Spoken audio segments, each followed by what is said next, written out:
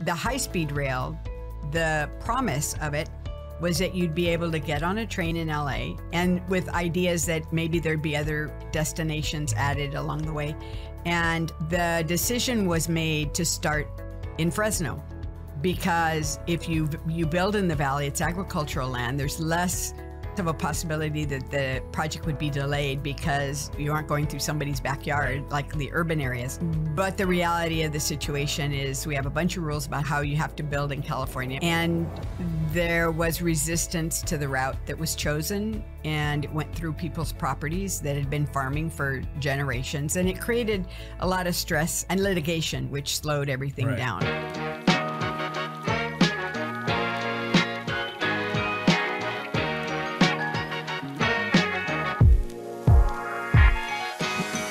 Hello and welcome again to another episode of SacTown Talks. Today we're glad to be rejoined by Senator Anna Caballero. Anna, how's it going? Thanks for coming in person today. Thank you so much. Yeah, Pleased to be here. It's good to see you. You know, last time we did this on Zoom, so it's uh it's good to be face to face finally. Absolutely. It's Yeah. it's it's good it's a good day when we can do this together. the, the world has changed. Uh, you know, last time you know you kind of talked to us about about your background and you know going to law school and stuff like that. So I guess for the listeners who you know didn't hear that, um, kind of can you talk really quickly, kind of what inspired you to get into politics and kind of bring you here today? yes. Um, well, my family is from a copper mining community in Arizona, and it's a company owned town. Mhm. And if you want to work, you work for the company. Right. And if you don't like your, the groceries that you buy at the store or, the service you get at the bowling alley or um, anything that it that they control, you just keep your mouth shut and you don't do anything about it, including the hospital if it, if you get poor service. And I saw my family struggle um, in this in this company town, and to see that they really had no resources to talk to an attorney. It's isolated in the middle of nowhere. And for me, I felt um, a real sense of injustice, seeing how, how much they struggled. It was a Latino community.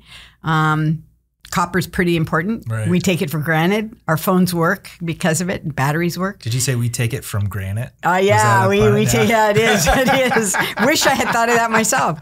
But um, but that that injustice made me feel like what I wanted to do with my life, knowing that I, I had to go to college, Mm-hmm. which is obligatory. My parents insisted on it, um, and I actually it was a good decision for me. Yeah. Um, I wanted to do something with my life that made me feel like I could help people to understand what their rights were and what options they had. Give them options and obviously give them advice so they can make choices. Um, so I went to law school. I hated it. Um, it was during a really difficult time uh, when uh, special admissions program were under attack. And since I was a special admissions admit, ad, admittee to UCLA Law School, um, there was a feeling that we didn't belong there and um, that we shouldn't be taking someone else's spot. And um, and so it was a difficult time. Uh, but I got hired by California Rural Legal Assistance. I was inspired by the the uh, labor movement, uh, Cesar Chavez and Dolores Huerta, and the UFW, and uh, wanted to work with farm workers. And so I ended up in Salinas, thinking I'd be there a few years, and um, I sta- I stayed many. And one of the things that happened is I got involved in politics, which I had never intended to do as an elected official, but as an, a community organizer Right. organizing people to, to exercise their right to vote. And um, and in the end, if you see something that has that needs to be fixed, um, it's pretty hard to organize people to do it unless you're willing to then step up and say, "Okay, I'll be the candidate and Right. and I'll I'll take on the responsibility to make sure it happens."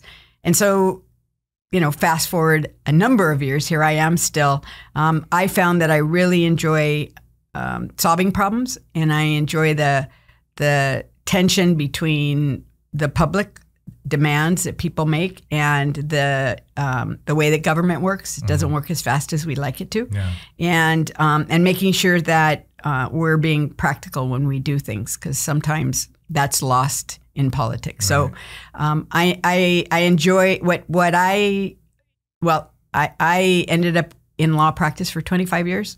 Had my own law practice, so I ran a small business, and my community service was serving on the city council and as mayor. Um, but once I, I ran for the state assembly, it was a different story. Closed the law office and made a commitment to do it full time. No, yeah, that's that. We were talking uh, with Blanca Pacheco yesterday, and you know, being the attorney and doing the city council and the mayor, that's that's It's a lot of work. grind, right? It's a lot of work. And I had three young children. So Wow. that went home to three little kids that, Yeah. you know, needed my time and attention and dinner and baths and all that kind Right, of good stuff. homework So homework. Oh my gosh, homework. Gosh. Yep. Wow, what a what a struggle. Um, so kind of, you know, we just had redistricting. Everyone, you know, kind of shifted. Kind of, how did things change for you in, in your district? Well, the big change is that um, the my my district originally included the Salinas Valley and San Benito Mm-hmm. County, as well as two thirds of the district was in the Central Valley. Right. And um, the biggest community in that district was Salinas, Mm-hmm. which I had represented as a mayor and city council member. Um, the district shifted and became an entirely a Central Valley district and includes now 80% of the city of Fresno. So the biggest city in the district Wow. shifted to Fresno. Um, but but uh, essentially, the footprint otherwise is the same in the Central Valley. Um, interestingly enough, the Salinas Valley and San Benito County went uh, rather than electing someone every four years, has to wait six. And so they're um, th- currently they don't they're they're they're not represented by anybody. So uh, the rules committee basically set up a structure because there are many communities like that Mhm. that um, that asked senators to con- either continue representing areas that they uh, no longer had as part of the redistricting, or to take on the responsibility until there's an election in that district.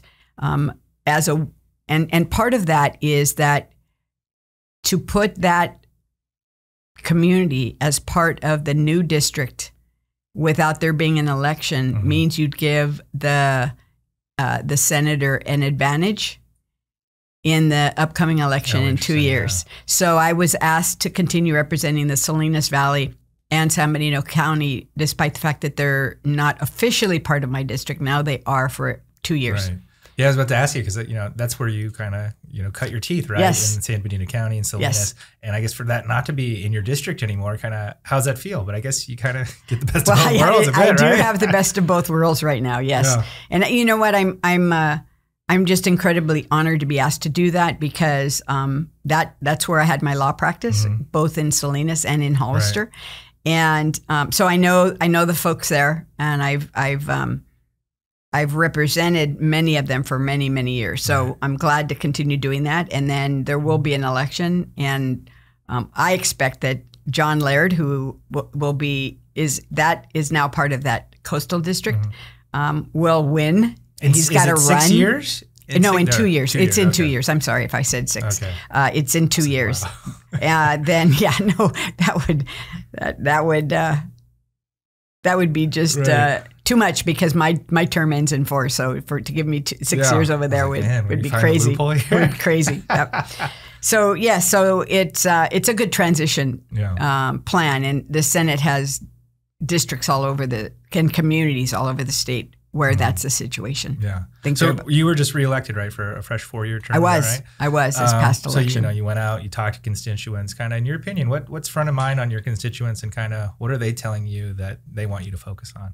Well, the number one issue continues to be jobs, good jobs. Um, the unemployment rate is the lowest it's been in 50 years in the state of California. That's a great thing. But um, there is a real interest because it's a rural agricultural community. Um, other than Fresno, Fresno is an urban center. Um, people want good jobs. They want jobs that will allow them to buy a house, to be able to pay for a college education for their children if if they so desire, and um, and a, a ladder that they can climb up. And so that that uh, the, along with um, affordable housing and uh, um, and a robust economic um, infrastructure for the small communities to do what we're asking them to do. We want them to um, focus on building more housing. Mhm. Uh, they don't have the infrastructure to do that, uh, and so it's a partnership. They they want some help in in in in achieving some of their goals. And I I've worked really hard. I've been able to get money in the state budget. Uh, as a real quick example, uh, the city of Huron um, if you have a heart attack or a um, stroke or a traffic accident, uh, you have to wait 30 minutes for an ambulance to get there. They come from Coalinga.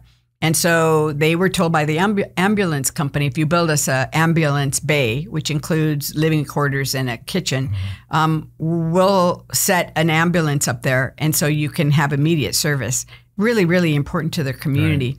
Right. Um, so we, I was able to get them some money in the budget for an ambulance, an ambu- ambulance bay. Um, the city of San Joaquin that has a budget of seven hundred and fifty thousand dollars a year was was having a significant increase in gang violence in the in the community, and so I was able to get them some money that they then went out to the community. It was two million dollars that they went to the community and said, "What is it you want?"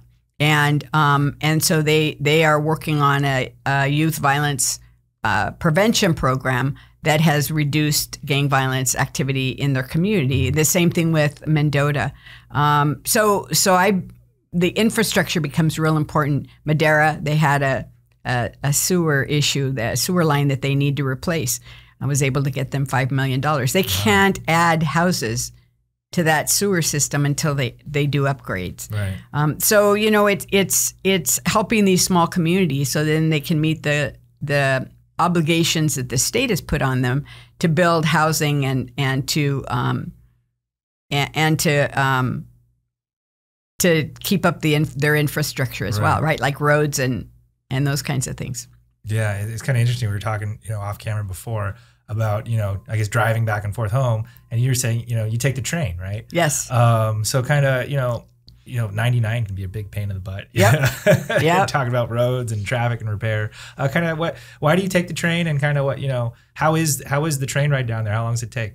So, so, um, train service to the valley is, is really very, very convenient. Mm-hmm. Um, uh, it is, uh, I, I, I take it regularly to Merced when I can. And it's a, it's a two hour train ride. Um, it's the same as yeah. driving a car. Right. The the difference is that I get to sit on the train. I have internet access. I can get caught up with my emails. Right. I can do work.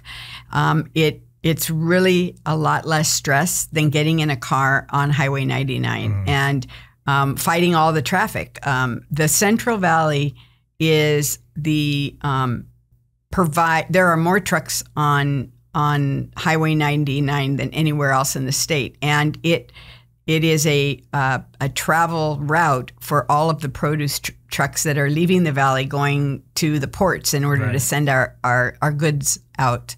Um, and so it's it's really very busy. It's pretty potholy mm-hmm. in yep. the slow lane, yep. and um, and this is just really a, a, great opportunity for me not to have to worry about um, you know the the kind of the liability and the the stress that's related to to taking that trip. Yeah. So I try to take the train as much as possible. And it's kind of interesting. Like I, I just saw like on uh, social media somewhere, they did a map of Europe with all their rail lines, and then they did a map of the United States, and they're like literally like thousands of rail lines in Europe. It's like covered. You can't even see any like space. And in the United States, there's like there feels like there's like ten total rail lines. Well, it's and, and you know what? The, the challenge is is the passenger train train service mm-hmm. takes second fiddle to the transport train. So if there's a transport train coming through, then they move you off to a sidetrack, right. and the um, the the uh, the transport goes first. And so there are times when you get delayed, um, and there are um, accidents on the track that delay you. But that can happen on 99. Right. You get one traffic accident, and all of a sudden everything comes oh, to a gosh. complete stop. There's no frontage road along 99, no. which is what what creates the the the stress of of driving on it. Mm-hmm. Yeah. And so kind of like the the I guess the solution we all kind of dreamed about I don't know, was it 10, 15 years ago was high speed rail, right? We'd be Correct. able to go from here to the, you know, to the valley, to LA, to San Francisco super fast. Uh, and, you know, I thought it was going to be, you know, pretty quick, but here we are years and years later. And it, you know, we just got a little strip, you know, kind of where you live down in, down in Merced, kind of, right. what's the status of high speed rail and kind of, kind of what are your current thoughts on it? Well, you know, high speed rail was supposed to go from LA to San Francisco. Mm. And the, the, the idea was that it would be fast. Right. And it would create um, the ability to be able to move across the state without having to fly, which has become increasingly expensive, and, or drive a car. Right. Um, I was driving up from LA once to go to Fresno, and I got part of the way, and they closed the grapevine because it was snowing up there. So all of a sudden, I had to go through Palmdale. It was incredibly difficult to get to Fresno, Right. and um, because I it was a last minute thing, I couldn't get any tickets because there weren't any available, and so there is no train from LA into the Central Valley. You have to go up the coast over to, to the Bay Area and down again, which is just crazy. Yeah. So um, the high speed rail, the promise of it was that you'd be able to get on a train in LA and with ideas that maybe there'd be other destinations added along the way and um, and could get to the Central Valley, but then cut over to the Bay Area and go up up up the bay to San Francisco. Um, the decision was made to start in Fresno because if you you build in the valley, it's agricultural land. There's less of a Right. at least the idea was it was um, less of a possibility that the project would be delayed because you you aren't going through somebody's backyard Right, right, in right. the urban like the urban areas. Um, but the reality of the situation is we have a bunch of rules about how, how you have to build in California, and we didn't expedite any of them. And uh, and there was resistance to the route that was chosen, and it went through people's properties that had been farming for generations, and it created a lot of stress and um, and litigation, which slowed everything Right. down. So, um, so yes, you're absolutely right. The um, phase one part of it is Bakersfield to Merced, and approximately two thirds of it is under construction right now. And if if you never drive through the valley along 99, you'll never see it. Right. So it's out of sight, out of mind. You think, oh, what's happening? I, you know, there's nothing. Well, it's incredible to see it going up. Yeah, it's one of the most impressive cement structures. You're Absolutely. that? Well, you go across the you, you go to the San Joaquin River, Right. Mm-hmm. and it's one of the most beautiful bridges that that you'll see. Um, what I'm excited about is one of the um, anybody who's lived in the valley will tell you that the most frustrating thing is to be driving from east to west and to be stopped by a, a train that is um, coming along the tracks that ha- has conflicts with the road, right? Right. um, and there are a bunch. I, I want to say there are 55 in the Central Valley, and you could be there for 10 minutes Oh, yeah. because that that uh, transport train is not moving very Right. fast. Um, and if you're in a hurry, you're in trouble. Those are being elevated, so they're um, it's in it's uh, safety improvements for the small communities as you go, and and for Fresno because Fresno has a bunch, um, and um, and so, as I said, two thirds of of the um, the the entire it's a 500 mile route, and um, Just from Merced to Bakersfield. no, it's Oh. from uh, L.A. to San Francisco. Okay. But uh, the environmental work has been done on uh, over 400 miles of that route. So that's really what has slowed this project down is getting through the environmental um, um, issues that Okay. that occur whenever you're you're building something across the entire state, Right. almost right, and it through some of the most um, uh, iconic and beautiful areas. So you want to make sure that you you do the environmental work right, so that it it um, you're you're assuring people that we're being environmentally sensitive. But but the other part of it is that um, the high speed rail was one of the goals that was adopted by the state in order to achieve our climate goals, Right. get people out of their cars. And so it is you need to protect the environment and also build in in a way that um, encourages people to actually use it. So the um, the route right now is under construction is between um, well the route is almost to Bakersfield and almost to Merced. Um, that's already under construction right now, creating thousands of jobs. And if I recollect correctly, um, there's a priority given to uh, making purchases from small businesses, and something like um, 750 small businesses have been uh, part of the uh, project, including s- small cement companies and steel companies.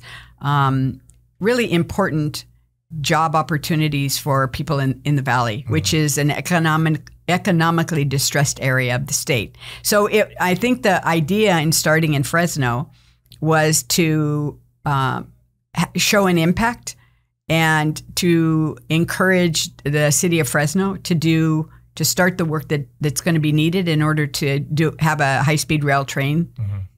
in their downtown area because right now it goes through all of the downtown areas of the communities that it's going to traverse. Right. So it's very cool. Yeah, it's you know that was I guess the, the idea like back in well, it feels like it was like 2008 or you know somewhere way back then. About um, way back then. uh, that the whole idea was, you know, we were start talking about climate change and things like that. Is Mhm. like you needed to be able to live somewhere where you could kind of go to work in a kind of a green fashion, right? Like Right. You, you should build houses near near jobs or something Right. like that. And you know, here in California, we have the affordability problem. Like you can't live, you know, you can't buy a house in you know the Bay Area because it's too expensive. Right. And so, well, then the next solution is, well, how can we transport people from where it's affordable to live to where they can work? Right. Uh, and it kind of seemed like high speed rail was kind of like the the silver bullet for that. Well, I Uh, think that was one of the one of the hopes for Right. it, right? Um, and it's it's because it's taken so long. It's one of the unrealized question marks. Are we going to be able to really um, make the changes? It's land use changes. Mhm.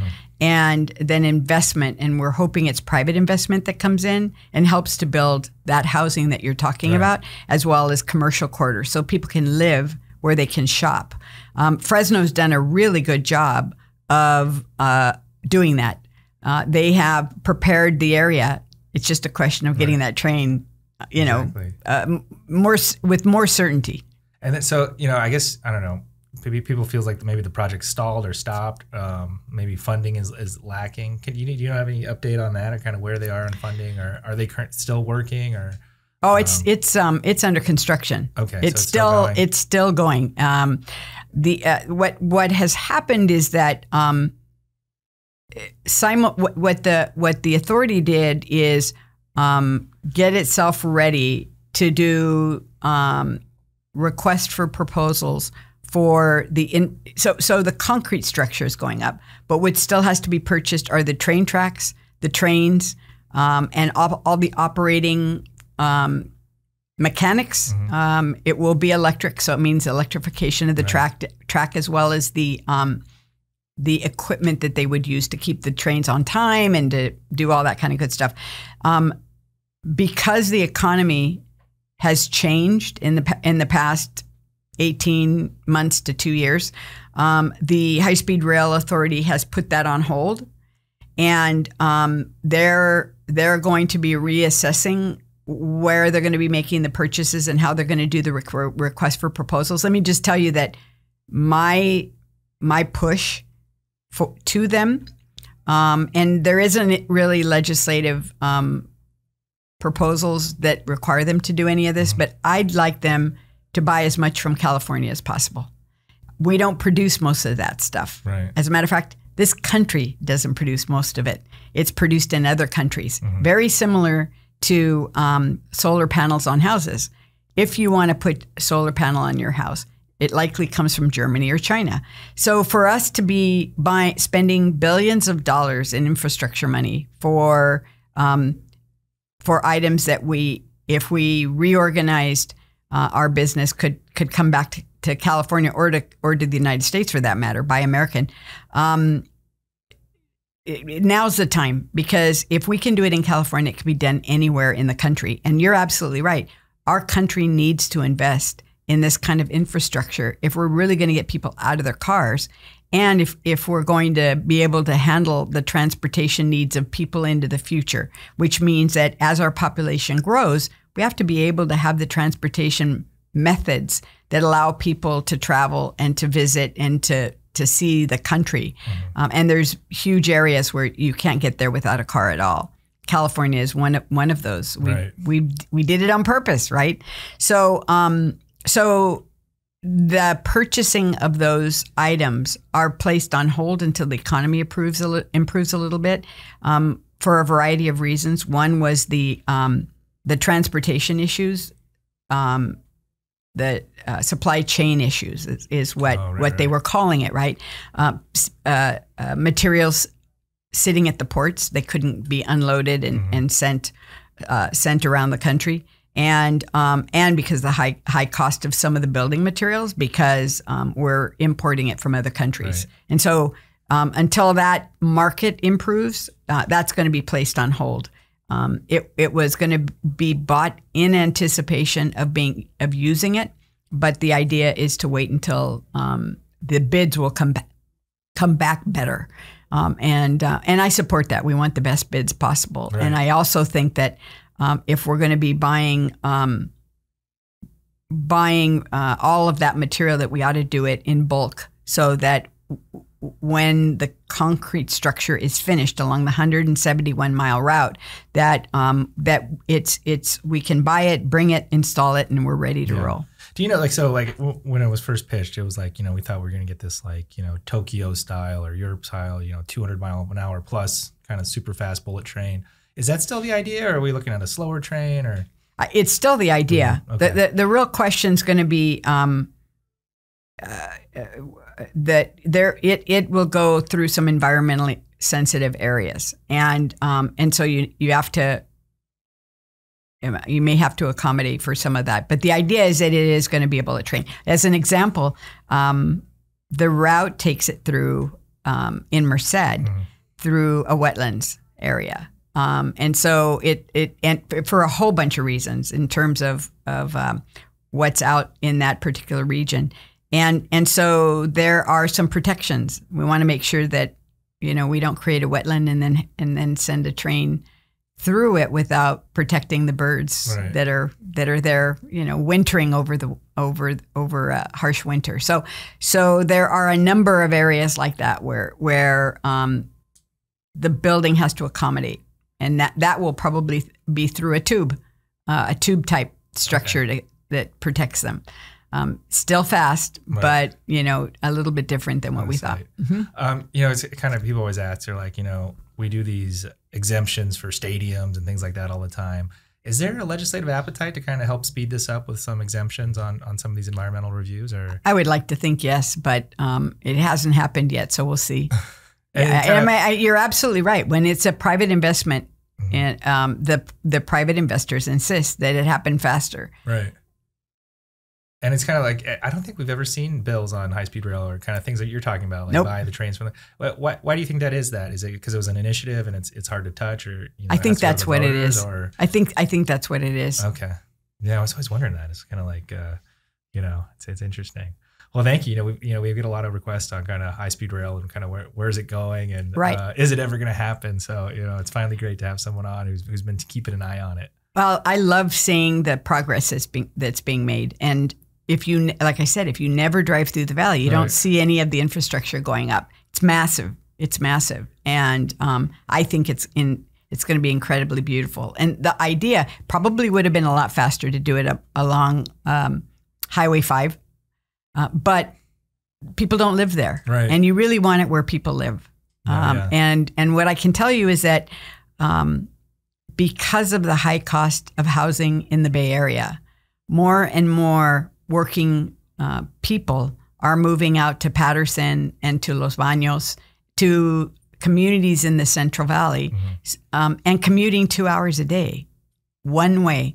And so, if we can get people out of their cars and moving together um, on, on something that's really efficient, that's the way to go. No, That yeah. way they can get home faster, they can take care of their family responsibilities, and they can feel a part of the community as opposed to sitting in their car all by themselves. Right. You know, the the California middle class has really been squeezed and kind of declining. Very much. Yeah. Um, and kind of you've I guess have a proposal out this year with SB six. Kind of what are you looking to do with SB six? Um, yeah, from last year. Yeah. So so SB six um, was really was really a, a, labor of love, and Mhm. what what it is is that California, well, once Proposition thirteen passed, that protected the property tax of homeowners from huge uh, increases in uh, in property tax. Mhm. It left local communities without the resources to do things that they that they felt very um, strongly they should continue to do. Um, it took away the ability to do recreational programs and libraries and police services and fire services. And so it led to the fiscalization of land use in California, which means that if you you couldn't increase property taxes, the tax you could increase was sales tax. And um, it led to communities saying, we need more uh, stores in our community Right. so that we have the money to meet the service needs. And so um, that meant they built, they overbuilt the commercial um, infrastructure in the community. There are Right. way too many stores, right? And so what happened is is we our shopping trends have changed. Mm-hmm. Um, we went to these superstores, the Costco's and the Walmarts, and they're super, right? And now people are using the internet to buy their goods, and so you no longer have the need for as many commercial spaces as you did before. They turned into blockbusters and Craigens and 99 cent stores. And even those are, are now leaving as well. So there are huge vacant commercial spaces, some along strip malls, some along uh, malls, and uh, they're vacant. Uh, Sears, Toys R Us, Yeah. you know, big, big spaces, Kmart's, and they're sitting vacant, waiting for someone to do something with them. And um, and it's really hard to find someone that can rent or buy that big a space. So SB6 basically said, we have CEQA'd these these buildings to death. We we knew that they were going to bring lots of people in during periods of time.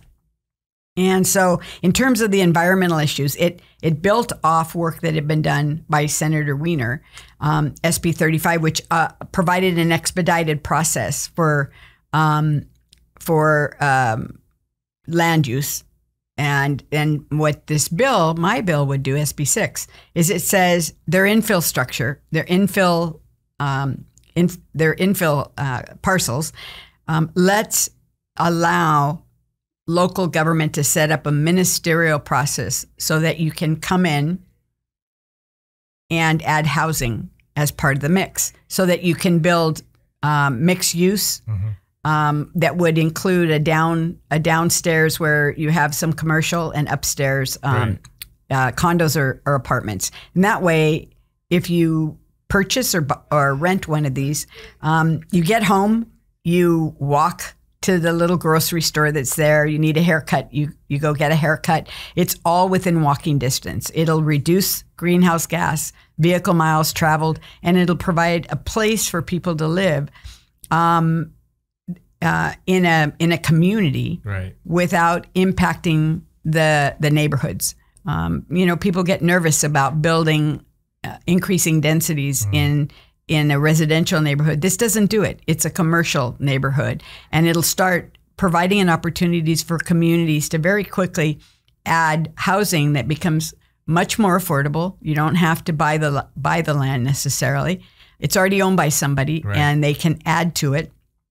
Um, and um, it'll increase property taxes for the cities, which is good for them. Right. And it it will alleviate the need to be boarding up buildings that um, will stay vacant for a significant amount of time. The the the analysis shows very clearly that um, that we have overbuilt commercial, and so we need to do something with that land. And and and then you're not using agricultural land. You're not building on agricultural land and on farmland Right. or or, or um, uh, parkland outside on the outskirts. In other words, you're reducing sprawl and and building up. That's interesting because you, you do see a lot of old shopping centers that just Absolutely. don't exist anymore. Especially you know, Absolutely. here in Sacramento, you see them That's every- right. everywhere. Well, if you if you drive around, all of a sudden you'll realize how many there are. Mhm. And um, a really good example of how they've they're they're doing some of that change is along Broadway here in here in Sacramento. I was driving down the street the other day, and I was I was shocked at how many vacant buildings, Oh yeah, yeah. uh, commercial buildings there are in the and, and that's funny. That's a lot of people. I always wondered, like here downtown, like why don't people redo these old buildings? And Right. somebody said Prop 13 because there's no incentive for the Right. person who owns the building to redo it because then their basis changes. that's And right. so now they're basically paying nothing for property tax and they're getting whatever rent they get. But if they, in order to redo the building, it would just go up way, way more. So I was like, oh, that's fascinating. Yep. So basically, like the city has to take it, like, um, or you really have to incentivize these landlords to, to do something. To do something, unless it's part of a zone where you you can do mixed use. right, And um, the the challenge with that is normally in what the city has to do is go back and make a land use change. And that land use change can be expensive, it can be iffy, Mm. and um, and it takes time. Right. And time is money. If you can do something now, then it's a lot quicker. Yeah. No, and it's kind of like, you know, we've been talking about revitalizing like downtown Sacramento for Ever. for 50 years probably. It's probably true. 20 years. Uh, it just still, it's just never happened. You're like, man, what's it finally going to take? Uh, but it looks like some of these changes you guys are making may have a, an impact sooner rather than later, hopefully. It, it can it can be expedited. You Yeah. talked about expediting Right. projects. This was a real simple uh, opportunity to expedite that process. no, that's great. Um, so we just had the bill introduction deadline. Kind of what's your legislative package looking like and kind of what are some of the things you're looking to tackle this year? Well, um, I'm I'm still going to work on housing. Housing is a big issue for me, um, and the focus uh, this session is on senior housing. Mhm. Senior homelessness is the fastest growing population, or the growing the, the fastest growing population of homelessness is our seniors over the age of 55, um, and um, I just think that you spend your entire life working, you get to retirement age. Uh, many are on fixed incomes, and um, and the increase in rent is is driving many of them out into the streets. Right. And so I think we it's a how we treat our seniors is a reflection of the heart and soul of the community or the society. And I don't think we're treating our seniors fairly. Um, for the most part, these are seniors that have been working in blue collar jobs that uh, may not have uh, very much paid into Social Security, or if they do, don't have a pension, and um, and work their entire life. And so I just think we've got to treat them differently. So I'm focusing on that. Uh, water, water is a huge issue, um, and I think we had the opportunity this year to have captured some of that water, the trillions of uh, acre feet that fell Right. during that um, atmospheric river. Um, we could have saved it and um, put it underground Right.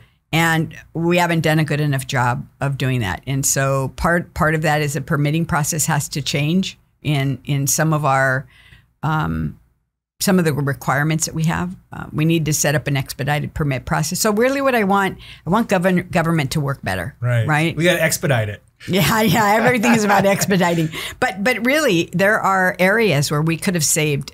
I, I've come to the conclusion we're not going to build dams. We're just not going to build Exactly. them. So let's figure out how to get that water underground as Mm-hmm. quickly as possible. And in my district, it's estimated that 500,000 acres to a million acres will be put out of production, agriculture production, because of groundwater, the lack of groundwater and the subsidence, right? Which is the the the earth subsiding Yeah. because there's no we're we're depleting the water. Well, if we can increase the ability to get that water that was flowing right out to the ocean into underground storage, then um, then we could weather these droughts a lot better. So we need to start doing that. sounding like one of those billboards in your district now. Well, you know what? I want to change the billboards. Yeah. I want to change the bill- billboards because I want them. I want there to be hope, right?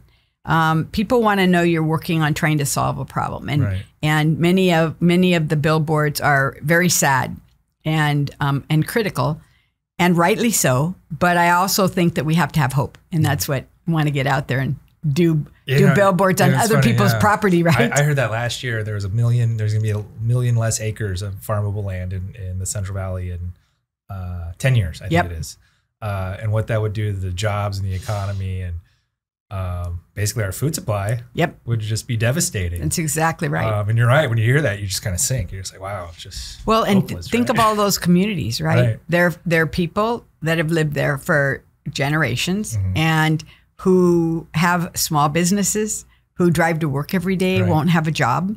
Um, and then we're leaving the land fallow, which means it's a dust bowl. Because if you're not growing anything on it, then it, it it's dust and it blows. right. Um, we have valley fever, which are the spores that live in the soil, Mhm. and um, so you can expect more more illnesses related to um, a virus.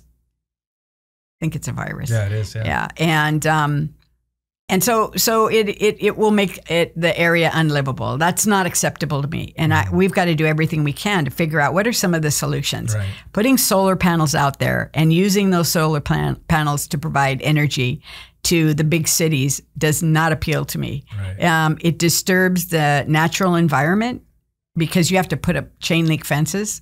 There's no there's no wildlife that can use the property once it's been fenced off and solar panels have been put Right. on it. Um, there are no that creates no permanent jobs. Um, it is um, I don't know about you, but that's not something I'd want to live next to. Well, no, and you got to realize like we have a special place, right? Like our climate, Totally. our soil, soil is, is special, and and only certain stuff can grow here that That's right. anywhere in the world. So it's kind of like if we don't grow it, then it, it's It- probably not going to grow, That's right. or it's going to grow someplace that you know might not use the same uh, standards and care that you know we have here. So it's important to protect the we have. highest labor, the highest um, environmental. You're absolutely right. Yeah. That's right. Um, We so- want to produce.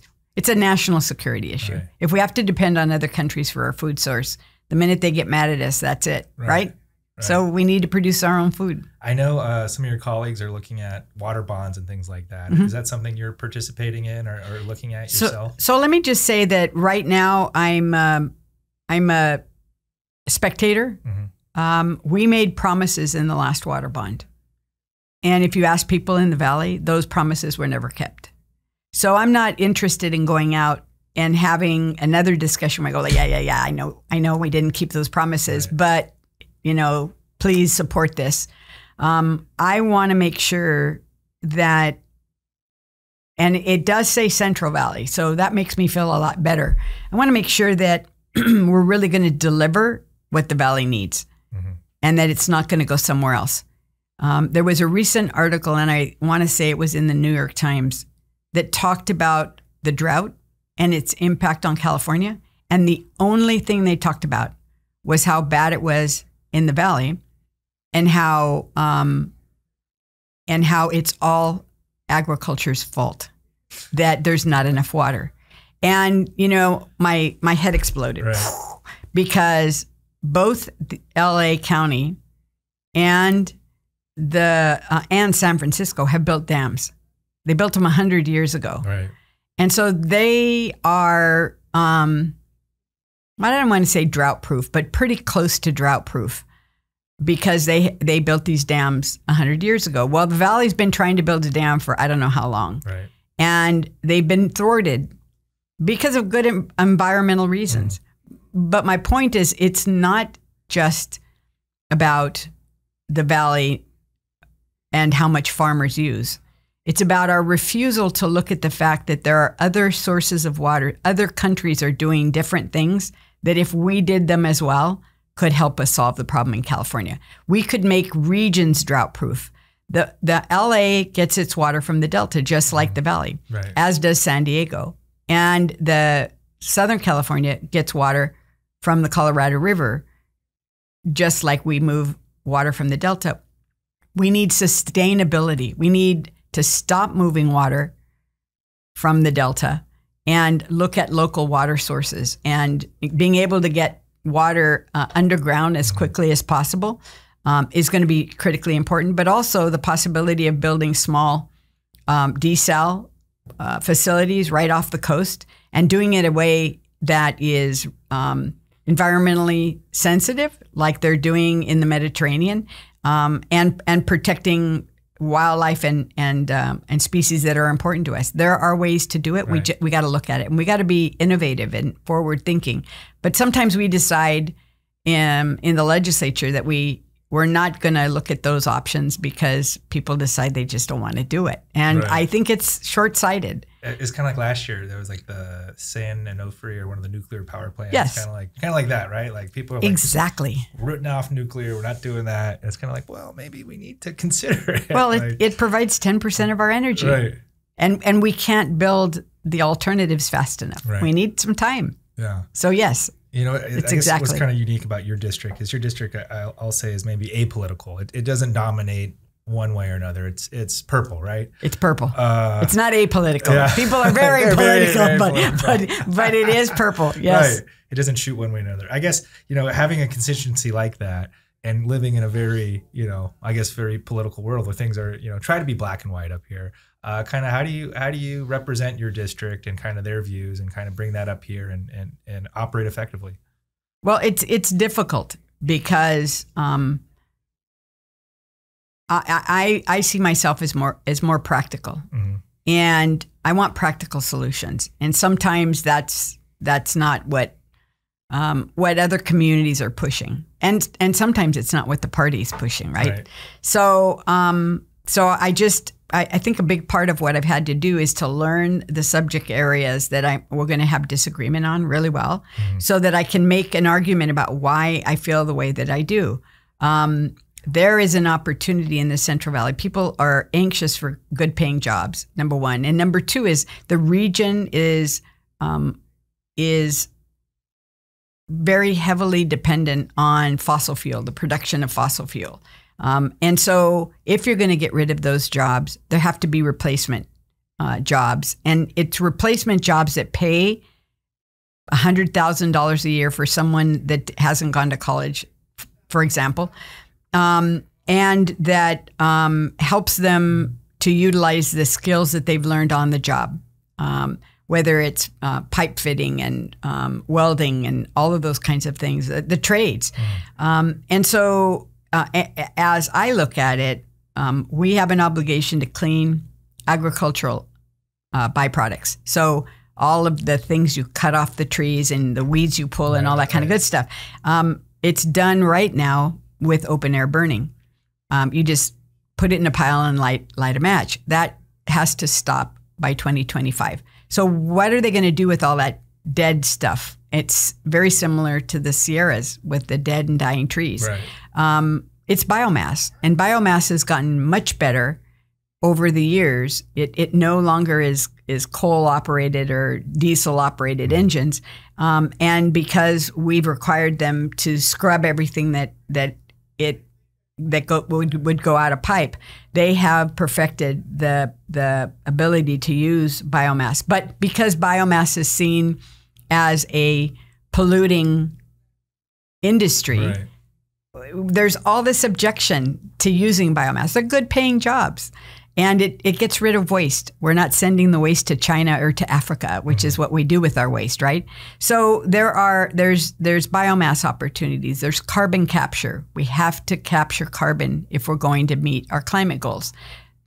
The perfect place to store it is in used oil fields that's in the valley. So there are lots of opportunities for us to build the um, pathway for labor in um, the trades in the valley, but we've got to have the will to do it. Yeah. And that means people that are willing to learn the subject matter and to say, yes, this is how we're going to achieve our climate goals, which are important to you. But um, but there, we're also going to employ people with a livable wage and use the land in a way that's much more responsible. You know, it's, it's kind of interesting. I guess your your uh, background is you know organizing farm labor, mm-hmm. uh, kind of in in the corporate town, and then kind of here now, kind of we're at this kind of crisis where we've lost a lot of our our manufacturing, our businesses that used to be in the Central Valley because in NAFTA, they're now gone south. That's right. And you know, you talk to the farmers, and the farmers are kind of talking about, well, they don't have you know labor, right? Uh, their labor's aging and things like that. Kind of what are the solutions here to kind of help, I guess, you know, bring back manufacturing and kind of, you know, bring back kind of more farm labor to help our farmers? Well, that's part of biomass and carbon capture. That's the manufacturing or the the heavy industry, I guess mm-hmm. you would say. But the other thing is that um, agriculture is changing. It is no longer back backbreaking labor that's doing things; it's machines. And part part of the reason the transition is that labor is aging, and um, we we are not seeing the influx of labor coming from south south of the border, and so we have a labor shortage, mm-hmm. and so the farmers are moving to to new technology, drip irrigation, um, sensors in the field that tell them data and information about the soil type when you add uh, soil amendments, um, what's happening with the plants Somebody needs to be able to read that. Somebody needs to be able to uh, have it on their cell phone, Right. look at it, and determine what needs to be done. And so um, there's a collaborative right now in the Central Valley. It's called F3. It's being organized by the Community Foundation of Fresno. And it includes all of the community colleges in the region, in the three county region. Um, maybe a, the fourth county, it may- be Stanislaus. So Merced, Madera, and Fresno. And the um, UC Merced and Fresno State um, they have received close to $100 million in grants between the state government and the federal government to re- retool the workforce and to create the curri- curriculum to, um, through the community college system where you can get certificates that will um, take your training as a farm worker because it t- it's a skill and give you credits for what you've learned and then uh, give you additional education so that um, you can be deployed to run the equipment and to do the readings and and to Oh, do do yeah. the work that's going to be necessary. In, in other words, the um, the way that people work will be entirely different. And if we can do it here in California, it can be done anywhere in the world. So it, it will uh, provide a, a real step up in education for a workforce that has traditionally been very low paying, um, that people assume is unskilled, but really is not. So I'm real excited about this because I think there's real there's a, a real opportunity to make a substantive difference in, in the lives of the families of, of farm workers. So I'm I'm excited. Yeah. And it's kind of interesting. Everyone talks about you know artificial intelligence, all this technology, and we're going to lose jobs, and it's kind of like, well, we're losing them anyways, right? Yes. And so yeah, Yes. How, how can we make you, uh, I guess, work smarter instead of harder? That's exactly right. Right. That's that's the whole the whole um, thesis of this. Yeah. How can we we help you work smarter and then have you earn more money doing that because it it's a skill. Right. So we're, we're, we're coming into busy season, right? Committees are coming up, uh, budget season's coming up. Kind of what's your, I guess, next month looking like? Very busy, very busy. um, we we're we are starting our, our our hearings, and so that it'll be a really busy time. We have been busy already because um, the Senate decided that we needed to start doing oversight hearings. And um, so all the committees have been encouraged to pick two or three subjects and then do some oversight hearings. So it's been Right. it's it's added hearings at a time when usually it's pretty chill, but Right. not right now. We're we're very busy. We've been working Wow. hard. Well, I know you're busy and you got to go, but thank you so much for stopping by and Thank talking you. to us. It was very fascinating and uh, looking forward to the work you're going to do this year. Great. Thank you so All right. much for having me. Thanks, Anna. Appreciate it.